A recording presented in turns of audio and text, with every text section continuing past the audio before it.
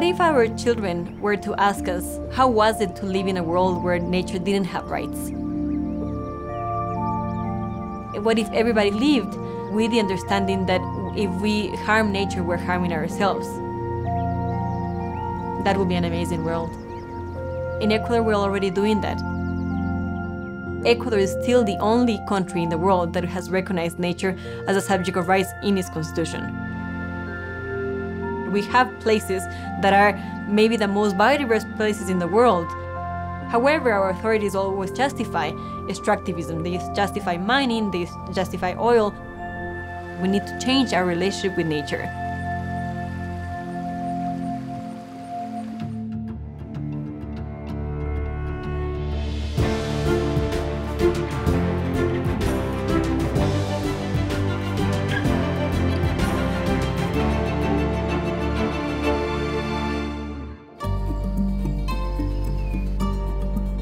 Ecuador, a country about the size of Nevada, has perhaps twice as many plants and animal species as the US and Canada combined. This biodiversity hotspot in South America has a stunning variety of habitats, coastlines with deserts and mangroves, snow-capped mountains, and the iconic Galapagos Islands. But it's the rainforests where much of the biodiversity thrives. Much of it remains unknown. We only know a little bit of what we have in our country in biodiversity terms. So many, many species are still being discovered in the rainforest. Unfortunately, Ecuador is a developing country. It, it faces a lot of threats uh, of activities that will definitely destroy its biodiversity and, of course, will lead to the extinction of many species.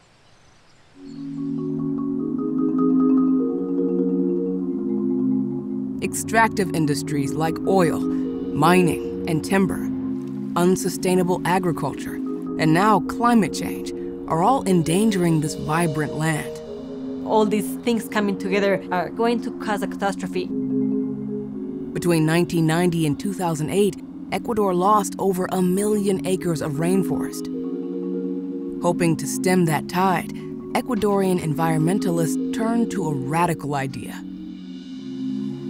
The rights of nature was an idea that was very new.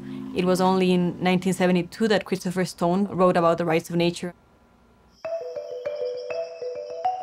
Stone was a law professor whose book, Should Trees Have Standing, argued that nature itself deserves legal rights. The concept is opposite of how most countries' legal systems treat environmental laws. Environmental law is just telling us how much we can harm nature. It's not telling us to protect nature.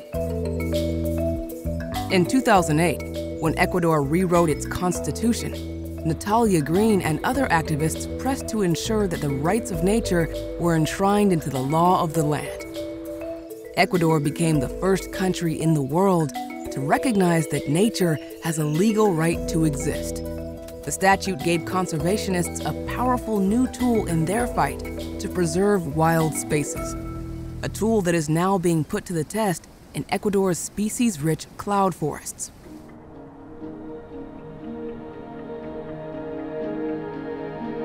These high-altitude rainforests are persistently covered in clouds and a vital source of water for animals, plants, and people in the region.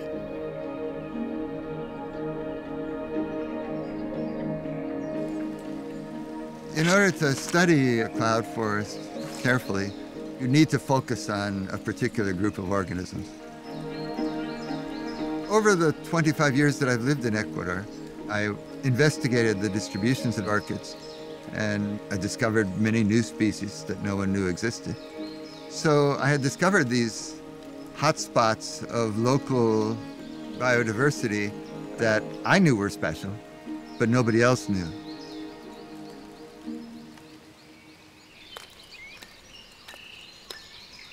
Most people know orchids from the hardware store or the supermarket, but most orchids are tiny. I mean, really tiny. The size of my fingernail sometimes. Lou has mastered the hunt. He even discovered one of the world's smallest orchids, just two millimeters across. Uh, very, very cool, very complex. These are pollinated by little tiny flies usually. This is a, an epidendrum. Over a thousand species of epidendrum exist, and Ecuador has 400 species of these. Lou realized that these miniature flowers offer not only a tasty sip for hummingbirds, but also a banquet of data on the health of the ecosystem. Orchids are so particular about where they grow that we can use them as bioindicators of differences between forests. One mountain has one set of orchids, and a neighboring mountain has a different set of orchids. Those orchids are indicating that there's something different about the climate of those two mountains. And so we can use them to guide us towards a logical conservation strategy that will protect all the biodiversity. The first step of Lou's conservation strategy was to protect some of the most biodiverse hotspots. My friends and I got together and formed this foundation called Ecominga. We began a campaign of international and national uh, fundraising to purchase these most special areas and create protected gradients along slopes of mountains so that plants and animals could move up and down them uh, as climate changed. 14 years ago, Lou brought in Javier Robayo, an Ecuadorian environmentalist, to manage the project. Usamos los sitios donde hay alta diversidad de orquídeas para que dirijan nuestro trabajo. We're trying to protect the whole landscape biodiversity, not just a few parts. It's all one system with animals and plants traveling between them. It's important to catch all of the diversity that's there. Some of the land in these cloud forests is farmed and the only source of income for the local owners. A few grow cash crops, like naranjilla, a popular local fruit that is lucrative but requires extensive land clearing. After just a few harvests, the soil becomes so degraded it can no longer support the crops. So many farmers simply move on and cut down another tract of forest. To help break that cycle, Lou and Ecominga are helping farmers shift production to environmentally friendly crops. Marco, Javier, Laura, qué gusto. ¿cómo, ¿Cómo estás, Marco? ¿Cómo vas? Te presentamos a Laura. Laura, qué gusto. ¿Cómo estás? Y yo estoy A feliz de ver, ver. Qué bien, qué lindo Mira. proyecto tienes. For generations, Laura Elena Yepes Plaga and her family have farmed naranjilla. But now, Ecominga has helped Laura grow another crop that can earn her just as much money on a lot less land. It's an orchid prized for its fragrant spice vanilla. La vainilla se le puede cultivar orgánico. En cambio, la, la naranjilla es más químicos. Incluso también deforestaríamos más montaña y aquí no porque no utilizamos tanto espacio. This is a pilot program, and Laura is Ecominga's first farmer trained to grow vanilla. Javier Robayo and orchid expert Marco Monteros check in often to offer support. Ya casi nueve años hemos trabajado en pensar, pensar cómo poder cambiar el valor del trabajo de la, de la agricultura. ¿Han tenido flores? Sí, bastantes en este mes. These vanilla orchids are ripe for pollination. Bueno, por ahora la temperatura eh, tenemos 28. Ujú. Eh, de humedad 73. Punto seis, ¿no? Ajá.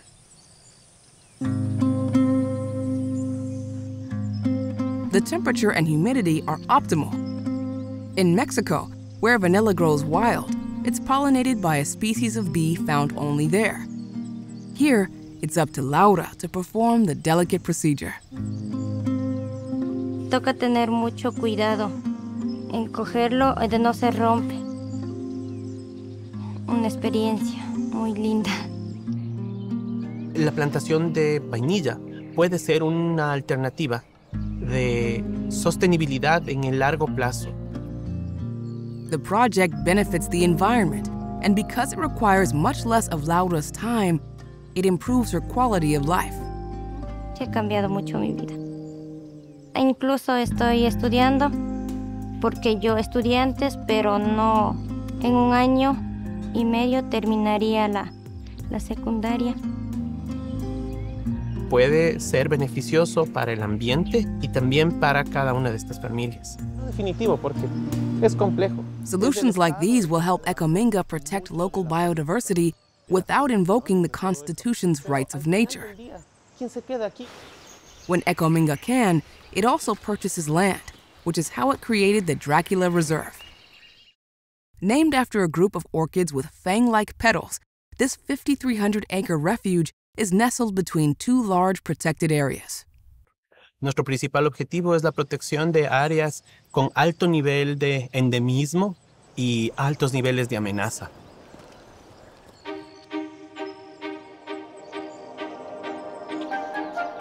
Ecominga discovered that many species are found only here. But beneath the cloud forests lies another kind of treasure a motherlode of mineral resources coveted by mining companies. Casi el 20% de todo nuestro territorio está entregado en concesiones mineras.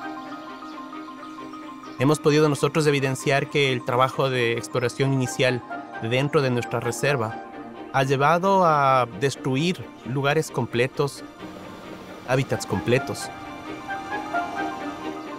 So Javier makes it a priority to connect with local communities and let them know Ecominga wants to purchase and protect their land.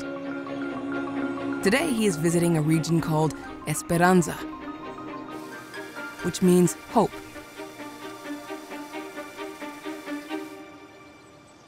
The residents own a tract of undeveloped forest. They'd like to profit from the holding. But the local leader has qualms about selling it to a mining company. La minería nos va a traer consecuencias a posteriores, le digo. Aquí tenemos que entrar al tema, le dije, de no a la minería, con ellos nos vamos. Con lo que vamos a no a la minería. Ahí es para frenar. Ecominga would offer a fair price for the land. But mining companies often pay higher than market value and pay more quickly. ¿Y por qué no nos hizo venir por acá, vea? For the community, safety is also a factor.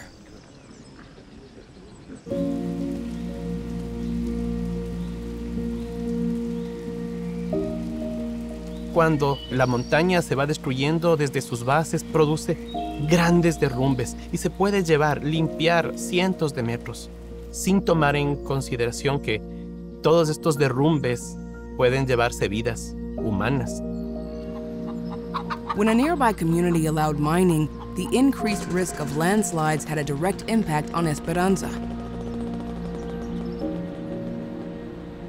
Hace unos seis años, desde el del 2003 como que sale. Ya.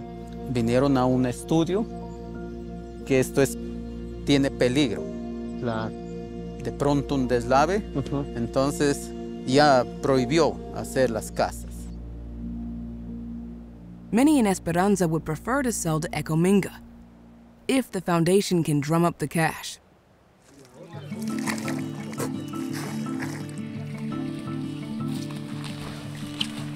Javier has connected with other organizations to help raise the money.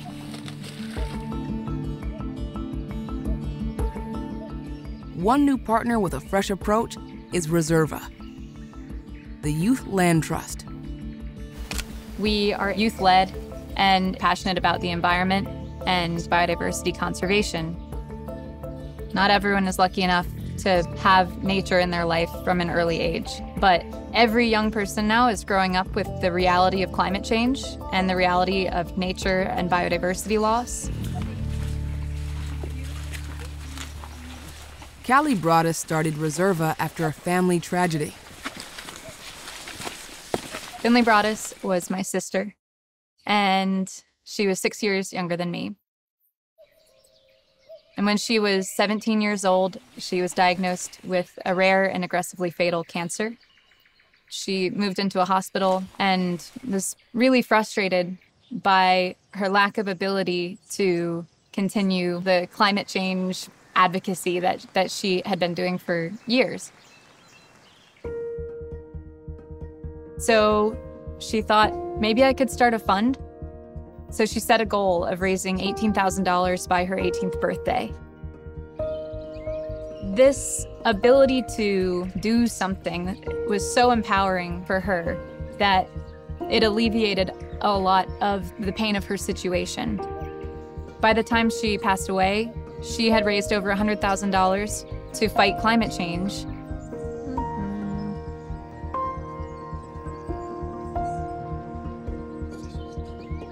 Finley's passion ignited a new calling for Callie and set her on her current path. I realized that a young person who's just turned 18 has incredible financial power to make an impact on these crises that we're facing.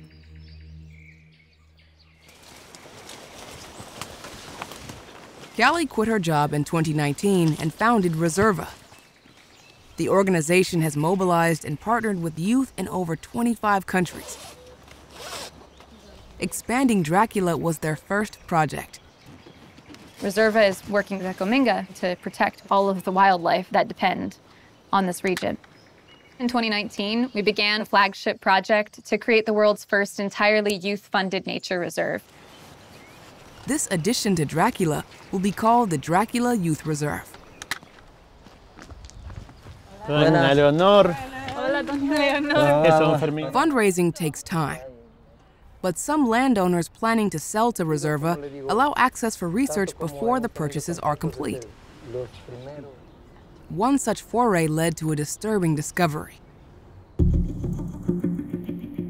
In August of 2021, some of the Ecominga team were surveying for new species. This forest land adjacent to Dracula Reserve belongs to local farmers Fermin and Leonor. Their family has owned this plot for over 60 years, and they are hoping to sell it to Ecominga to make sure it stays protected and intact. Marco went out on a hike looking for orchids, and he came back with some devastating news. He found 400 meters of destruction of a pristine canyon made by mining companies. Lo único que se me vino a la mente fue, este es el inicio del final. Me dio mucha rabia. To track down the miners, Callie and Javier took to the skies. We put a drone up into the air. Yeah. Oh, there. We located their camp, and the next morning we hiked in at about 5 a.m. to confront them and find out who they were working for.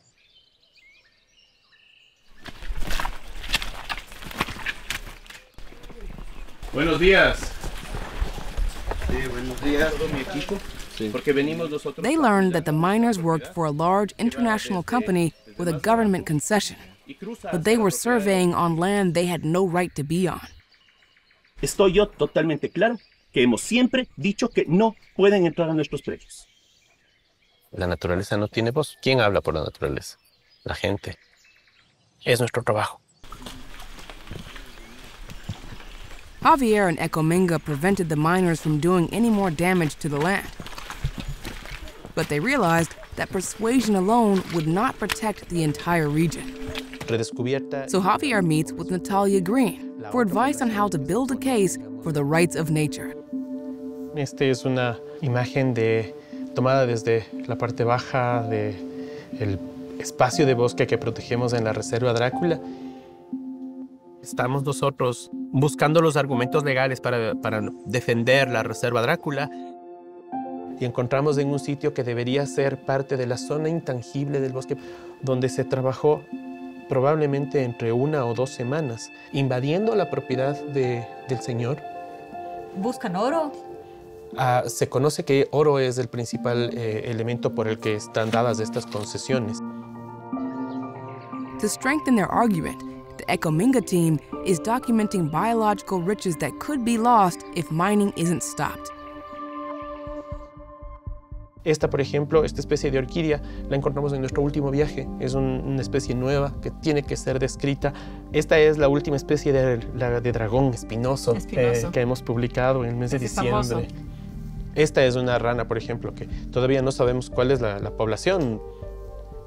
En estos elementos súper endémicos, específicos, Cuando se extingue una especie no se puede reparar. O sea, nosotros lo que hemos usado muchísimo en los casos eh, de derechos de la naturaleza y citando justamente a la Constitución del artículo 73, que te dice justamente el Estado aplicará medidas de precaución y restricción para las actividades que puedan conducir a la extinción de especies. The law states that any action that could lead to extinction, either by eradicating a species or destroying its critical habitat, ya de la is prohibited. señor ahora es This law has been on the books since 2008, yet mining on ecologically vulnerable land continues. One local community recently went to battle over the fate of a cloud forest reserve called Los Cedros, another biodiversity hotspot with many endemic species. Los Cedros is a protected forest. And in Ecuador, within a protected forest, you cannot do agriculture, you cannot do cattling, but you can do mining, eh, which is completely absurd. In 2018, several indigenous tribes in Los Cedros sued the national government after it granted mining concessions to almost three quarters of the reserve's land without consulting the tribes. Their legal team made the rights of nature central to their argument. The fight took three years and was ultimately decided by the highest legal power in the country, the Constitutional Court. Its resounding verdict upheld the law of the land nature's rights prevailed. Nosotros hemos logrado ganar el caso de los cedros porque existía la investigación de qué había en esa área. Experts on orchids, on monkeys, on frogs, on different plants came to the judge and told them how important this space was. The Constitutional Court eh, ruled in favor of nature and banned mining as an activity that can happen in such a biodiverse place. The court also issued another major ruling. The rights of nature pertain not only to protected areas and reserves, they apply to any land throughout the country. Entonces lo que tú me presentas ahorita es clave y es importantísimo porque es poder sensibilizar a los jueces, a las personas de qué es lo que estamos tratando de salvar. Cuando ven físicamente lo que estamos perdiendo, cuando conocen a las especies, cuando conocen a ese dragón, a, esa, a ese Drácula, ¿no es cierto? A esa ranita, entonces les tenemos, ¿no es cierto? Entendemos lo que podemos perder.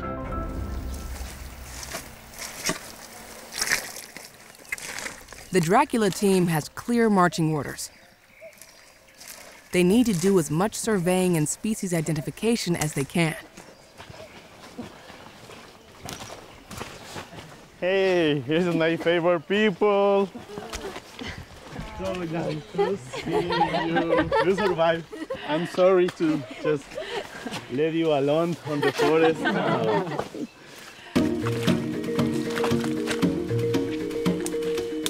Finding new species is actually relatively common. Every expedition I've been on, we've come home with a list of potential new species to science. This plot is almost entirely unexplored by scientists. That means that we have a lot of work to do very quickly. Their work will bolster their case and deepen their understanding of this complex ecosystem.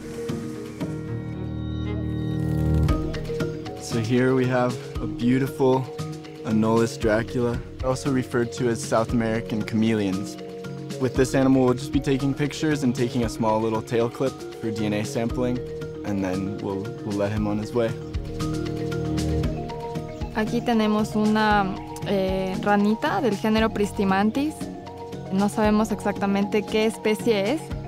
Entonces es importante tomar fotos, tomar un punto GPS, eh, usar esta aplicación que es iNaturalist y también eh, reconocer algunos patrones en la coloración, en la morfología que nos pueden ayudar a identificar qué especie es. Es muy divertido. part of the experience is seeing the look on the expert's face when they see something that they have never seen in, in their course of study. Just lights up. I can't identify it. We only know of about 2 million species on the planet out of an estimated 8 to 9 million. So we've only scratched the surface of what lives here. Here we have a salamander. This is going to be a new species for the science. And it's the second time that I'm watching this. We only have pictures the first time, but now we can have a, sample. Different levels of creatures live from the very, very bottom of each tree to the canopy. Every level have different plants, different shapes, different species. These small species have one chance to be recognized not only as an object, they are subjects of rights. These creatures give us the chance to play to save these places. This is the reason why I'm working here.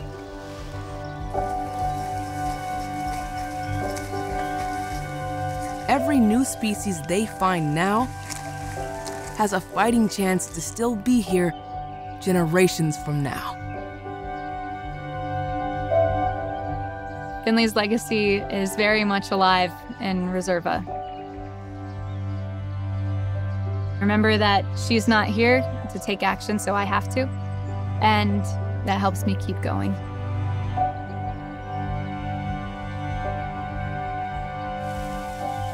La naturaleza el día de hoy no tiene tiempo.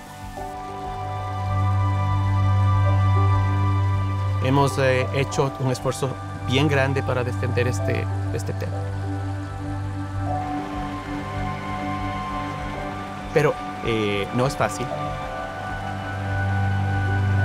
Para mí, Reserva es mi fuente de inspiración de cada día.